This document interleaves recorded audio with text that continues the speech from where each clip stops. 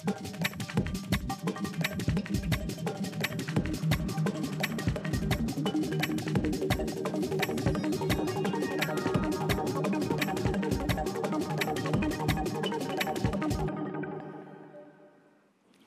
boa noite. Pois esta série de desafios, cujo objetivo final é fazer com que os jogadores acabem com a própria vida, tem sido um assunto constante nas famílias, nas rodas sociais nesses últimos meses no mundo inteiro. E o que mais impacta é o suicídio entre os jovens, pois esse tema ele mobiliza há bastante tempo, principalmente aqui no Brasil, os especialistas da área. E esse assunto será debate a partir de agora com os nossos convidados. Nós estamos recebendo hoje a coordenadora do Serviço de Prevenção e Educação do Departamento Estadual da Criança e Adolescente, o DECA, a delegada Sônia Maria da Linha. E estamos recebendo também o diretor da Clínica da Depressão, psiquiatra Ney Nadvorny. Vale lembrar aqui no começo deste programa que o programa, que o Debate TVE, está sendo transmitido ao vivo nas redes sociais, no site da TVE e no Facebook. E que você é o nosso convidado para participar através do WhatsApp. Que o telefone aparece aqui, que o número, melhor, aparece aqui. É o 984-516352. 984-516352. Boa noite a vocês, bem-vindos. Obrigada por aceitar aqui o nosso convite para falar de um assunto tão importante, né, que envolve tantas famílias aqui no, no país. Mas, delegada Sônia, acho que queria começar com a senhora, porque esse chamado, que se falou muito agora no programa Panorama, o chamado Jogo da Baleia Azul, cuja origem parece que não é conhecida, mas que tem os primeiros relatos surgiram na Rússia. Que relatos que existem dele por aqui? Boa noite, em primeiro lugar, obrigada pelo espaço. Eu estou aqui representando o Departamento Estadual da Criança e do Adolescente, uh, onde nós uh, acompanhamos aí o desenvolvimento dos nossos adolescentes, das nossas crianças, né? Uh, desde 1999, então já tivemos uma caminhada nesta seara, né? dos, das as situações que são enfrentadas pelos nossos adolescentes e, e o que que isso significa no meio em que ele vive, né? Uh, sob o ponto de vista policial, e eu posso falar nessa área em razão de estar trabalhando diretamente com o caso, é, o fenômeno né, da baleia azul, é, eu tenho aqui uma mensagem, digamos assim, tranquilizadora sobre um determinado aspecto, porque, sob o ponto de vista policial, nós não temos ainda nenhum caso aqui no Rio Grande do Sul que possa ligar algum tipo de violência com a baleia azul diretamente. E eu vou explicar por que, que nós temos esta posição. Em primeiro lugar, o assunto em si já está transformado em procedimento policial neste momento, já é, aberto e em fase de investigação, que está lá no nosso DEIC, né, com o diretor Bozeto, na Delegacia é, de Crimes Cibernéticos, com a finalidade de, de, identificar os curadores desses grupos que, de alguma maneira, uh, despontam aí e que estariam, em tese, envolvendo os adolescentes na sua trama, né?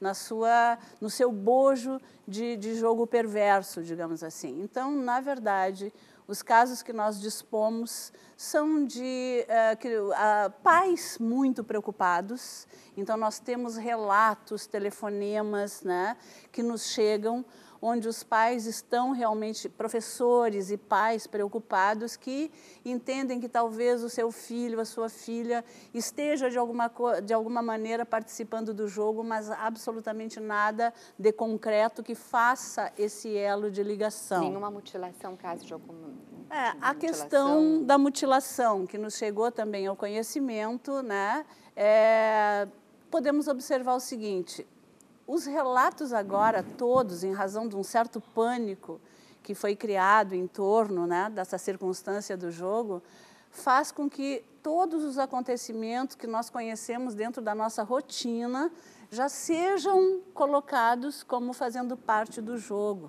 Né? Então, eu quero uh, falar diretamente aqui para os pais, para os professores, na verdade, as situações onde existem adolescentes deprimidos, as situações onde existem adolescentes que, de uma forma ou de outra, eh, se colocam em situações de perigo, né, eh, não são novidades para nós. a gente trabalha de uma maneira ou de outra em cima de casos assim temos é, é, um, neste universo né, adolescentes realmente que estão enfrentando problemas sociais. Problemas... A senhora deu a deixa agora que eu vou passar para o... Sim, então eu vou dar a deixa. Ah. É, então, esta, essa dificuldade que nós estamos tendo em separar os casos que efetivamente envolvem né, os adolescentes com seus problemas sociais do jogo que foi colocado nesse, nesse momento e que faz essa, essa salada de frutas, isso é que nós temos que debater aqui e esclarecer. Pois é, é que eu digo que a senhora deu a deixa quando a senhora falou uh, na questão da depressão, na questão dos pais observarem. E aí eu, eu falo com, com, com o doutor Ney Nadvone, doutor Ney, esse falar aí do jogo, né? Os aspectos positivos e os aspectos negativos dentro do que o senhor trabalha com as famílias, com os jovens, eh, como é que o senhor avalia? Se os, pais, se os pais devem ou sim, não... Sim, se falando muito desse com... jogo, sim, né? Sim, sim. Isso traz à tona outros problemas que vocês enfrentam quando, com os jovens? Uh, lembro, muitos anos atrás, quando essa moda de videogame começou, é, esses jogos de, de violência, né? Tem um que é um, é um o personagem principal é um, é um ladrão, né? É, é como se fosse um herói, né? Então ele sai matando todo mundo. E aí os pais iam me procurar, escuta, mas meu filho está jogando esse jogo, isso não é perigoso, mas tu acha que teu filho vai virar ladrão porque está jogando é, um jogo de videogame. Não é assim que funciona, está se divertindo. Ah, essa, essa história da baleia azul, é, como a delegada falou com muita propriedade, na verdade a depressão existe há muitos anos, sempre existiu. Os bichos se deprimem, o ser humano se deprime. Hoje, uh, 5% da população mundial é deprimido. Não vai ficar, já é. Então, tem 350 milhões de pessoas hoje na Terra deprimidas. Muitas dessas pessoas são adolescentes. Então, uh, uh, quando começou essa história do Azul, muitas pessoas começaram a me ligar, pais preocupados e, e pessoas querendo se orientar. Uh, na verdade, assim, ninguém acorda de manhã e diz assim, vou me matar. Não funciona assim, não é um, não é um processo uh, de um dia para o outro. Mas o adolescente que se sente pressionado na escola, com algum tipo de bullying, por exemplo, certo. ele é mais suscetível? A, a, a, suscetibilidade depende de cada pessoa. Toda pessoa tem uma resistência a fatores externos né, conforme as suas vivências internas. Então, a partir da sua família, a pessoa vai se construir e vai ser uh, mais ou menos suscetível a gatilhos, como a gente chama, para desenvolver a depressão. Então, assim, não é, a pessoa vai sofrer bullying, uh, muitas pessoas não vão dar bola, muitas pessoas vão achar graça disso, outras pessoas vão se influenciar, Uh, como tem essa série da está eh, passando ainda no Netflix, né? Ah, the, é, 13 Reasons Why. É, isso, é uma menina que sofre um, um, um, bullying, sabe bullying e no final, parece no último capítulo, ela comete o suicídio. Na verdade, assim, ela, ela, o processo de toda a série é o desenvolvimento de uma depressão. Na, na, verdade, a série já começa com ela já, ela já, ela já, já morreu. Isso, e aí eles vão isso, investigando isso. do porquê ela da morte deixa, dela. Eu só vi os primeiros né? gravadas. É. Então, o que, que aconteceu? Essa menina, na verdade, uh, tinha uma resistência X, era uma menina feliz, mas foi sofrendo uh, o bullying, né? Foi sofrendo uh, é, brincadeiras de mau gosto com, dos colegas, né? E a resistência dela foi abalada. Então, ela desenvolveu uma doença, que é a depressão. Toda doença tem um conjunto de sintomas, a depressão tem um conjunto de sintomas. Então, a tristeza, muitas pessoas dizem, eu estou triste. Isso não quer dizer que a pessoa está deprimida. Hoje ficou sinônimo, tristeza, eu estou deprimido. E é totalmente errado. A pessoa está triste. Triste é um sintoma da depressão, existem vários outros. Quando se forma esse, esse conjunto de sintomas, se, de, se determina a pessoa realmente tem depressão, essa pessoa sim pode ser suscetível a comandos externos, gente diz, não, não, você não te mata. Tipo, eu já estava até pensando mesmo nisso há muito tempo, já não, valho mais nada, eu acho que eu sou um peso. Para minha família ninguém gosta de mim. Então, aí se pode se formar a ideia de um suicídio que pode vir a se tornar uma tentativa de suicídio e uma minoria, felizmente, uhum. uh, não vou dizer nem que tem sucesso, porque sucesso é uma palavra boa, mas infelizmente acabam uh, perdendo a vida. Né? A Giane, daqui de Porto Alegre, pergunta a idade mais atingida, mas eu, eu, eu pergunto para a delegada Sônia se os, nos, os casos de denúncias ao DECA se vem mais via escolas, uh, via os conselhos tutelares, as famílias? Como é que vocês recebem? E até nas idades, mas assim, como é que eles chegam? É, na verdade, são variados, né? Nós temos aí uh, um momento em que o assunto está uh, efervescente, então os contatos acontecem com mais, com mais assiduidade, mas as idades são variadas, né? Então, se nós pensarmos no adolescente que tem dos 12 aos 18 anos incompletos, nessa faixa acontece uh, essa comunicação. Mas se eu pudesse falar em nome é, de uma professora, que nós tivemos uma conversa rapidamente agora à tarde, né? eu acho que os mais, é, as, os mais suscetíveis são ainda os mais jovens, né? que têm uma suscetibilidade, como falou o doutor, é, em relação à, à, influência externa. Né? Uhum. Mas, como eu disse, é, é, bem democrático, atinge as idades todas, atinge classes sociais. Seria mais a pré, o que a gente considera pré-adolescência, seria mais Sim. ou menos isso, quem está é. entrando na adolescência? Uhum. Do ponto de vista do Estatuto da Criança e do Adolescente, Sim, o adolescente é dos 12 aos 18 tá anos bom. incompletos, né? e antes disso a infância mas é, é, é, bem variado, não teríamos ainda como estabelecer uma estatística ou alguma coisa nesse sentido. Né? Uhum. Eu pergunto à senhora também o que eu perguntei para o uh, doutor Ney, trazendo à tona, se discutindo esses casos, quais são os prós e os contras que a senhora vê na sua área, essa discussão toda que está vendo? Eu acredito que nós estejamos em meio a uma espécie de pânico social é, que faz com que as pessoas já, em razão da, dessa, dessa de, de, martelarmos muito o assunto, né?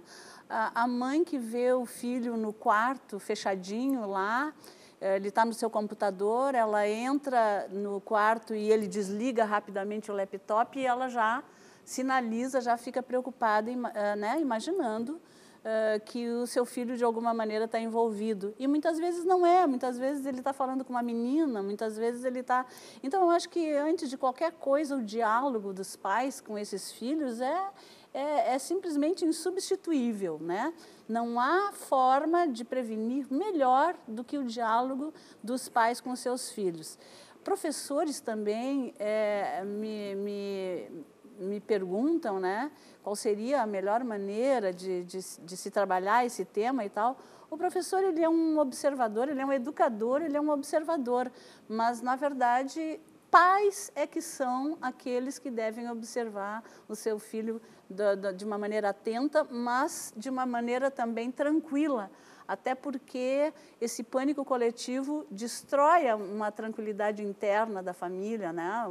Pai já fica assustado porque a mãe contou e aquilo se transforma numa bola de neve. Né? Então, eu recomendo muita calma, muita tranquilidade e muito diálogo com os seus filhos. Eu já tenho mais perguntas de telespectadores e outras questões para colocar, mas agora é hora da gente fazer um brevíssimo intervalo e já voltamos com o debate de hoje.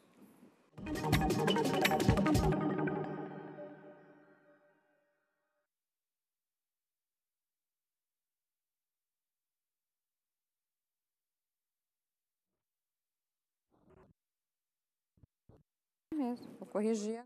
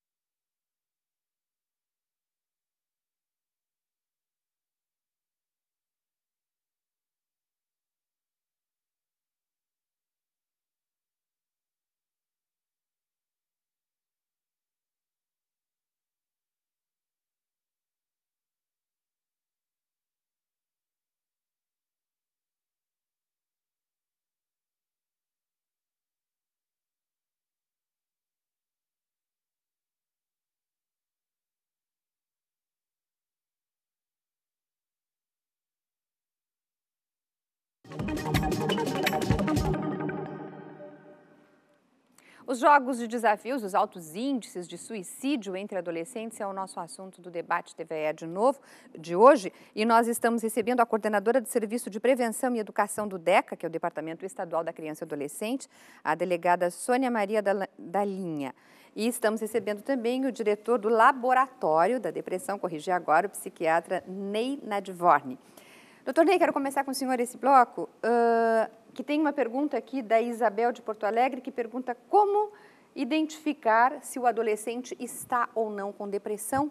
E eu lhe pergunto também, assim, pegando a carona aqui da, da Isabel, sobre que esses jogos, né, eles se caracterizam, ou pelo menos o que se divulga muito, a questão da mutilação. A depressão também pode ser manifestada quando o jovem eh, tenta automutilação?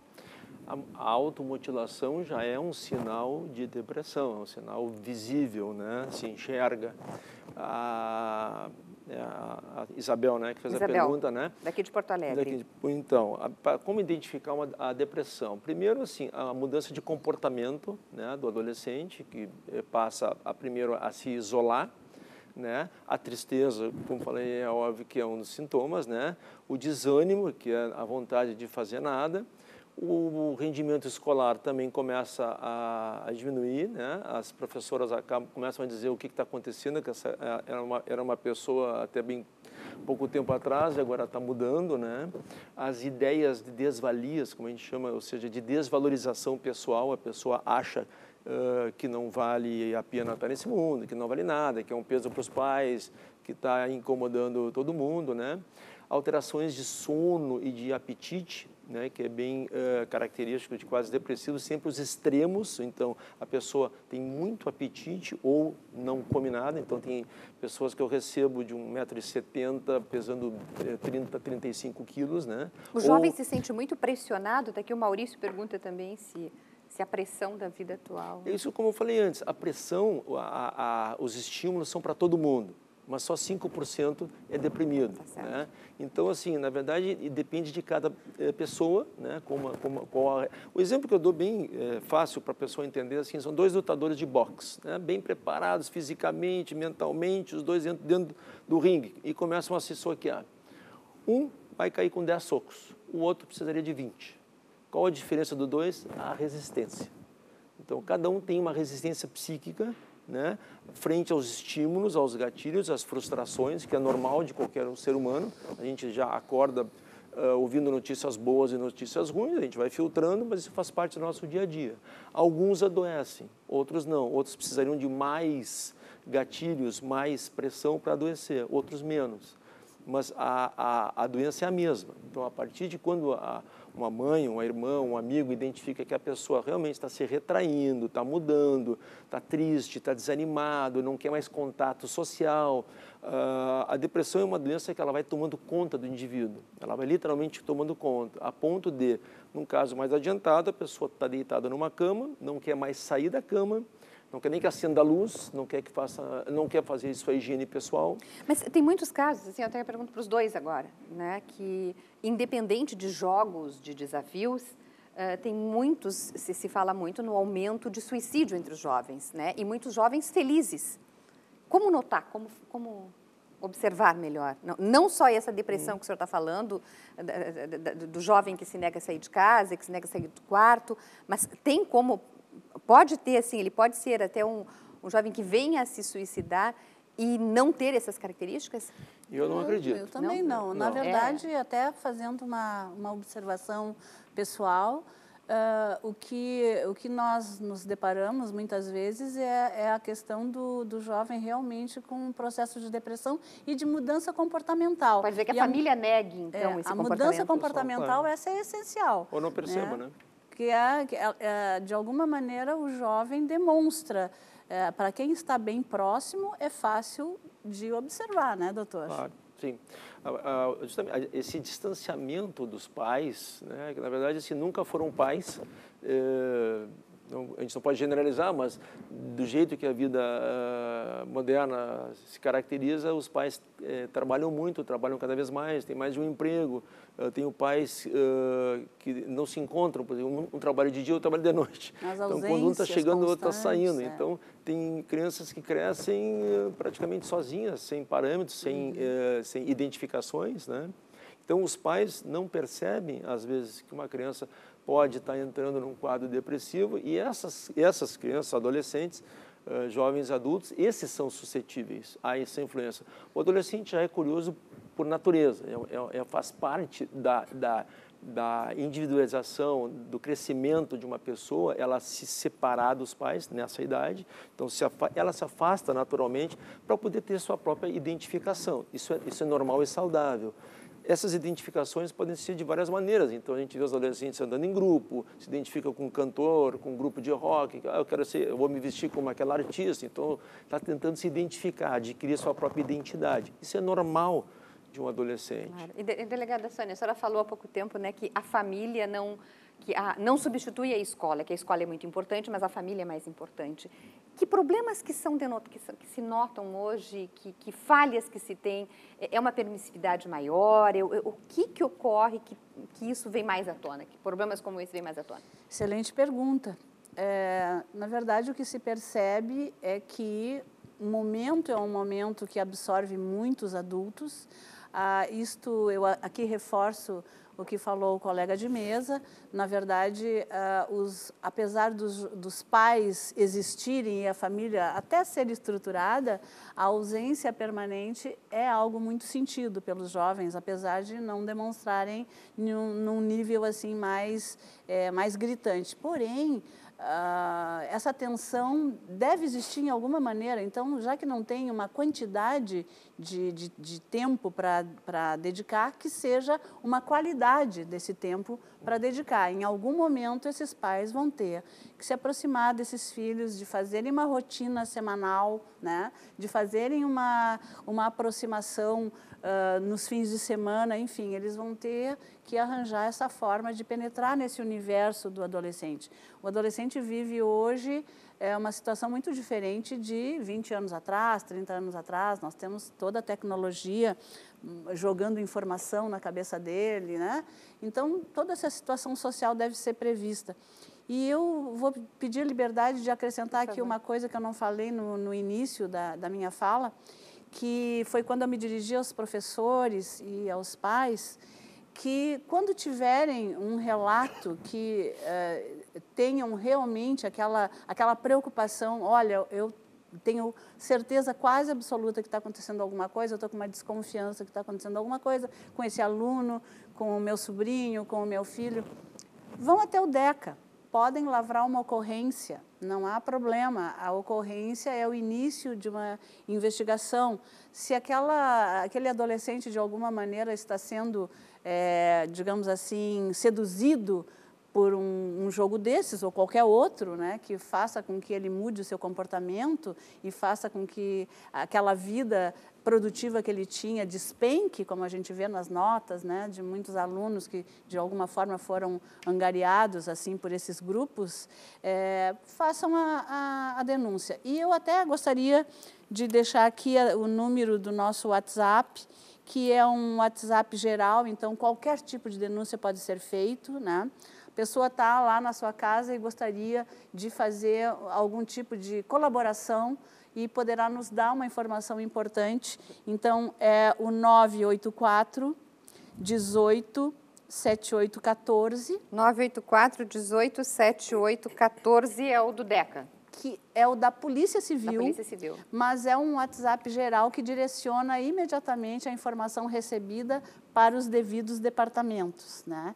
Então, nós estamos com esse número uh, sendo divulgado e temos também o número do DECA. Só esse, deixa só esse. Aí então, no final eu dou do DECA. Tá, tá, para esperar que é muita informação, daí para você anotar tudo. Tá certo. E como é que funciona o laboratório da depressão? O Laboratório da Depressão é uma clínica especializada em depressão, né, visto que a, a procura pelo atendimento, 80% é, são casos de depressão, né, de, de variados Sempre níveis. Sempre cai a, a, a, medicação. Tem até uma pergunta aqui, ó, que, com que idade se pode iniciar uma medica, medicação numa criança? Uh, crianças têm que ser bem avaliadas, né? Depende do, dependendo do, do, caso. Existem medicações que podem ser usadas na infância, mas principalmente o assunto aqui são adolescentes, né? Uhum. Uh, existe hoje uma gama muito grande de, de medicações uh, antidepressivas que uh, trabalham junto com a psicoterapia. Né? Nunca se deve esquecer que a palavra, uh, o olho no olho, é, ainda é um tratamento uh, é, vital, um tratamento... E o adolescente faz com a família inteira a terapia, doutor? eventualmente, se chama os pais para uma entrevista inicial, para ver o que está acontecendo. depois comparece somente o adolescente Uh, geralmente ele não gosta que os pais participem, principalmente porque ele vai uh, compartilhar segredos que Sim. às vezes nem os pais sabem, ou às vezes até nem deveriam saber, né? que são coisas mais íntimas que ele pode discutir então com uma pessoa neutra que é o terapeuta. Né? Ele se sente mais à vontade e mais seguro, sabendo que tudo que, tudo que falado dentro de um consultório não vai sair de um consultório mesmo para os pais. Mas tem uma exceção que eu combino com todos os meus pacientes no início de tratamento se existe o risco de suicídio, se eu perceber pelo discurso do paciente ou uh, eventualmente a, a, a, o pensamento real, eu aviso a família, né? Eu aviso, aviso, o paciente que vou avisar a família e efetivamente aviso a família, mesmo que ele fique bravo comigo. É o que eu digo para os pacientes, eu prefiro que tu fique bravo comigo, mas vivo, né, claro. do que nós tá, dois... E, e, tem mais informações no laboratoriodadepressão.com.br, é isso? Isso, tem o Facebook, que é o tá, já, Nós já acreditamos e também e tem no, no Facebook. Bastante informação. E só o telefone do DECA que está terminando assim, eu fico... Tá certo. Só tranquilo. o número do DECA, então, como é que é? É, nós temos o nosso uh, Denuncie, que Sim. é abrangente, é. 984 18 7814. Ah, tá. Esse número que tu desse, 984 18 7814 para algumas denúncias. Exatamente. Delegada Sônia, muito obrigada. Eu tá, que agradeço doutor... o espaço. Muito obrigada também, doutor Ney. A vinda de vocês hoje aqui. Obrigada a você pela sua audiência. A seguir tem um Esportes aqui na TVE. Você fica aí acompanhando tudo que aconteceu no fim de semana. E desejamos uma boa noite. Amanhã a gente está de volta a partir das oito e meia da noite em ponto. Até lá!